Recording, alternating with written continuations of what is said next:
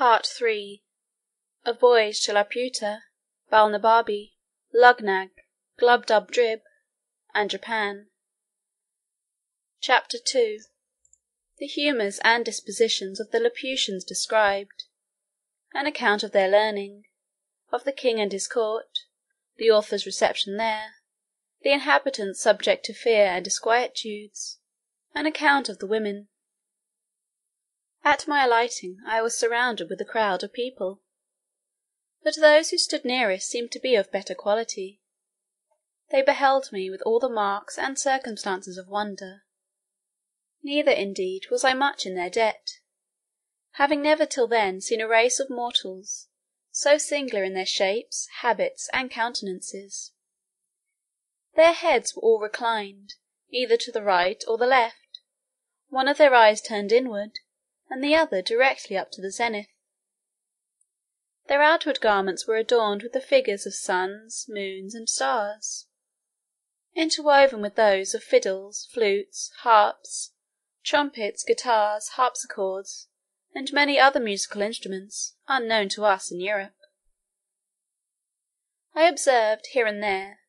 many in the habit of servants, with a brown bladder, fastened like a flail to the end of a stick, which they carried in their hands. In each bladder was a small quantity of dried peas, or little pebbles, as I was afterwards informed. With these bladders they now and then flapped the mouths and ears of those who stood near them, of which practice I could not then conceive the meaning. It seems the mind of these people are so taken up with the intense speculations, that they can neither speak, nor attend to the discourses of others, without being roused by some external taction upon the organs of speech and hearing; for which reason, those persons who are able to afford it always keep a flapper (the original is Climenole) in their family, as one of their domestics; nor ever walk abroad, or make visits, without him. And the business of this officer is, when two, three, or more persons are in company, gently to strike with his bladder the mouth of him who is to speak, and the right ear of him or them to whom the speaker addresses himself. This flapper is likewise employed diligently to attend his master in his walks, and, upon occasion, to give him a soft flap on his eyes, because he is always so wrapped up in cogitation, that he is in manifest danger of falling down every precipice, and bouncing his head against every post, and in the streets, of jostling others, or being jostled himself into the kennel. It was necessary to give the reader this information, without which he would be at the same loss with me to understand the proceedings of these people. As they conducted me up the stairs to the top of the island, and from thence to the royal palace. While we were ascending, they forgot several times what they were about, and left me to myself, till their memories were again roused by their flappers; but they appeared altogether unmoved by the sight of my foreign habit and countenance, and by the shouts of the vulgar, whose thoughts and minds were more disengaged. At last we entered the palace, and proceeded into the chamber of presence, where I saw the king seated on his throne, attended on each side by persons of prime quality. Before the throne was a large table filled with globes and spheres, and mathematical instruments of all kinds. His majesty took not the least notice of us, although our entrance was not without sufficient noise, by the concourse of all persons belonging to the court. But he was then deep in a problem, and we attended at least an hour before he could solve it. There stood by him, on each side, a young page with flaps in their hands; and when they saw he was at leisure, one of them gently struck his mouth, and the other his right ear; at which he started like one awaked on the sudden, and looking towards me and the company I was in, recollected the occasion of our coming, whereof he had been informed before. He spoke some words, whereupon immediately a young man with a flap came up to my side and flapped me gently on the right ear. but I made signs, as well as I could, that I had no occasion for such an instrument; which, as I afterwards found, gave his majesty and the whole court a very mean opinion of my understanding. The king, as far as I could conjecture, asked me several questions, and I addressed myself to him in all the languages I had. When it was found I could neither understand nor be understood, I was conducted by his order to an apartment in his palace; this prince being distinguished above all his predecessors for his hospitality to strangers, where two servants were appointed to attend me. My dinner was brought, and four persons of quality, whom I remember to have seen very near the king's person, did me the honour to dine with me. We had two courses of three dishes each. In the first course, there was a shoulder of mutton cut into an equilateral triangle, a piece of beef into a rhomboides, and a pudding into a cycloid. The second course was two ducks trussed up in the form of fiddles, sausages and puddings resembling flutes and hautboys, and a breast of veal in the shape of a harp. The servants cut our bread into cones, cylinders, parallelograms, and several other mathematical figures. After dinner my company withdrew, and a person was sent to me by the king's order, attended by a flapper. He brought with him pen, ink, and paper, and three or four books, giving me to understand by signs that he was sent to teach me the language.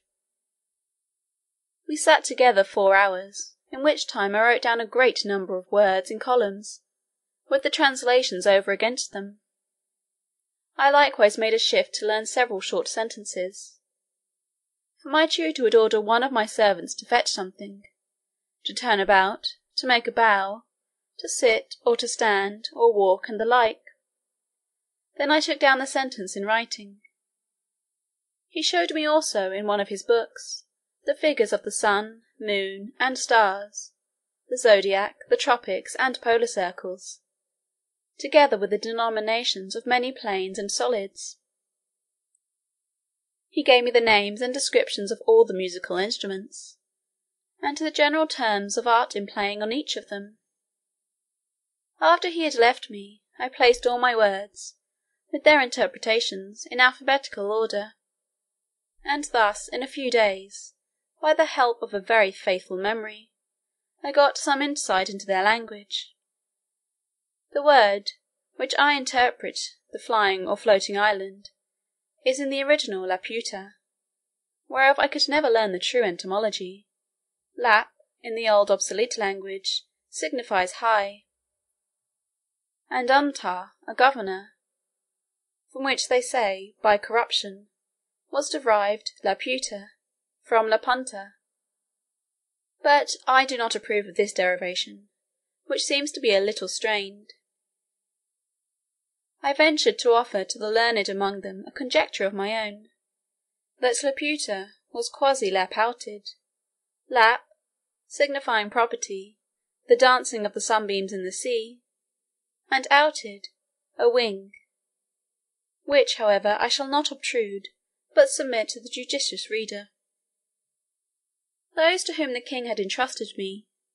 observing how ill I was clad, ordered a tailor to come next morning and take measure for a suit of clothes. The operator did his office after a different manner from those of his trade in Europe. He first took my altitude by a quadrant, and then, with a rule and a compass, described the dimensions and outlines of my whole body; all which he entered upon paper, and in six days brought me clothes very ill made, and quite out of shape by happening to mistake a figure in the calculation. But my comfort was, that I observed such accidents very frequent, and little regarded. During my confinement for want of clothes, and by an indisposition that held me some days longer, I much enlarged my dictionary; and when I went next to court, was able to understand many things the king spoke, and to return him some kind of answers. His majesty had given orders that the island should move north east and by east, to a vertical point, over Lagado, the metropolis of the whole kingdom below, upon the firm earth. It was about ninety leagues distant, and our voyage lasted four days and a half. I was not in the least sensible of the progressive motion in the air by the island. On the second morning, about eleven o'clock, the king, himself in person, attended by his nobility, courtiers, and officers, having prepared all their musical instruments, played on them for three hours, without intermission, so that I was quite stunned with the noise. Neither could I possibly guess the meaning till my tutor informed me. He said, that the people of their island had their ears adapted to hear the music of the spheres, which always played at certain periods, and the court was now prepared to bear their part, in whatever instrument they most excelled. In our journey towards Lagado, the capital city, his majesty ordered that the island should stop over certain towns and villages, from whence he might receive the petitions of his subjects and to this purpose several pack-threads were let down, with small weights at the bottom. On these pack-threads the people strung their petitions, which mounted up directly, like the scraps of paper fastened by schoolboys at the end of the string that holds their kite. Sometimes we received wines and victuals from below, which were drawn up by pulleys. The knowledge I had in mathematics gave me great assistance in acquiring their phraseology, which depended much upon that science, and music, and in the latter I was not unskilled. Their ideas are perpetually conservant in lines and figures. If they would, for example, praise the beauty of a woman, or any other animal, they described it by rhombus, circles, parallelograms, ellipses, and other geometric terms or by words of art drawn from music, needless here to repeat. I observed in the king's kitchen all sorts of mathematical and musical instruments, after the figures of which they cut up the joints that were served to his majesty's table. Their houses are very ill built, the walls bevel, without one right angle in any apartment; and this defect arises from the contempt they bear to practical geometry which they despise as vulgar and mechanic; those instructions they give being too refined for the intellects of their workmen, which occasions perpetual mistakes; and although they are dexterous enough upon a piece of paper, in the management of the rule, the pencil, and the divider, yet in the common actions and behaviour of life I have not seen a more clumsy, awkward, and unhandy people nor so slow and perplexed in their conceptions upon all other subjects, except those of mathematics and music. They are very bad reasoners, and vehemently given to opposition, unless when they happen to be of the right opinion, which is seldom their case. Imagination, fancy, and invention, they are wholly strangers to, nor have any words in their language, by which these ideas can be expressed, the whole compass of their thoughts and minds being shut up within the two forementioned sciences. Most of them, and especially those who deal in the astronomical part, have great faith in judicial astrology, although they are ashamed to own it publicly. But what I chiefly admire, and thought altogether unaccountable, was the strong disposition I observed in them towards news and politics, perpetually inquiring into public affairs, giving their judgments in matters of state, and passionately disputing every inch of a party opinion. I have indeed observed the same disposition among most of the mathematicians I have known in Europe, although I could never discover the least analogy between the two sciences, unless those people suppose, that because the smallest circle has as many degrees as the largest, therefore the regulation and management of the world require no more abilities than the handling and turning of a globe. But I rather take this quality to spring from a very common infirmity of human nature. inclining us to be most curious and conceited in matters where we have least concern, and from which we are least adapted by study or nature. These people are under continual disquietudes, never enjoying a minute's peace of mind, and their disturbances proceed from causes which very little affect the rest of mortals. Their apprehensions arise from several changes they dread in the celestial bodies. For instance, that the earth, by the continual approaches of the sun towards it, must, in course of time, be absorbed or swallowed up; that the face of the sun will by degrees be encrusted with its own effluvia, and give no more light to the world; that the earth very narrowly escaped a brush from the tail of the last comet,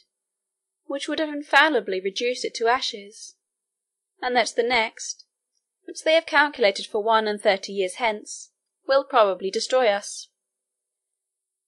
For if, in its perihelion,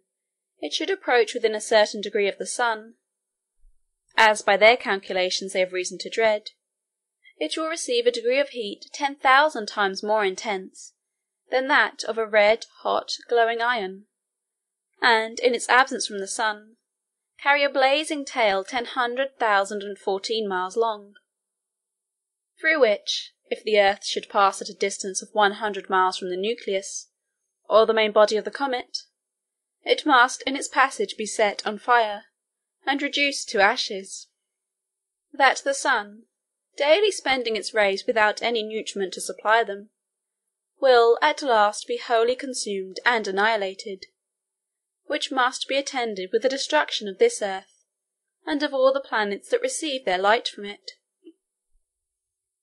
They are so perpetually alarmed with the apprehensions of these, and the like impending dangers, that they can neither sleep quietly in their beds, nor have any relish for the common pleasures and amusements of life. When they meet an acquaintance in the morning, the first question is about the sun's health how he looked at his setting and rising, and what hopes they have to avoid the stroke of the approaching comet. This conversation they are apt to run into with the same temper that boys discover in delighting to hear terrible stories of spirits and hobgoblins, which they greedily listen to, and dare not go to bed for fear. The women of the island have abundance of vivacity they contemn their husbands, and are exceedingly fond of strangers, whereof there is always a considerable number from the continent below, attending at court, either upon affairs of the several towns and corporations, or their own particular occasions, but are much despised, because they want the same endowments. Among these the ladies choose their gallants, but the vexation is, that they act with too much ease and security for the husband is always so wrapped in speculation, that the mistress and lover may proceed to the greatest familiarities before his face, if he be but provided with paper and implements, and without his flapper at his side. The wives and daughters lament their confinement to the island, although I think it is the most delicious spot of ground in the world; and although they live here in the greatest plenty and magnificence, and are allowed to do whatever they please, they long to see the world, and take the diversions of the metropolis, which they are not allowed to do without a particular license from the king, and that is not easy to be obtained, because the people of quality have found, by frequent experience, how hard it is to persuade their women to return from below. I was told that a great court lady, who had several children, is married to the prime minister, the richest subject in the kingdom, a very graceful person, extremely fond of her, and lives in the finest palace of the island, went down to Lagado on the pretence of health, there hid herself for several months, till the king sent a warrant to search for her, and she was found in an obscure eating house, all in rags, having pawned her clothes to maintain an old deformed footman, who beat her every day, and in whose company she was taken, much against her will. And although her husband received her with all possible kindness, and without the least reproach, she soon after contrived to steal down again, with all her jewels, to the same gallant, and has not been heard of since. This may perhaps pass with the reader rather for a European or English story than for one of a country so remote; but he may please to consider that the caprices of womankind are not limited by any climate or nation, and that they are much more uniform than can be easily imagined. In about a month's time, I had made a tolerable proficiency in their language, and was able to answer most of the king's questions, when I had the honour to attend him. His majesty discovered not the least curiosity to inquire into the laws, government, history, religion, or manners of the countries where I had been, but confined his questions to the state of mathematics, and received the account I gave him with great contempt and indifference,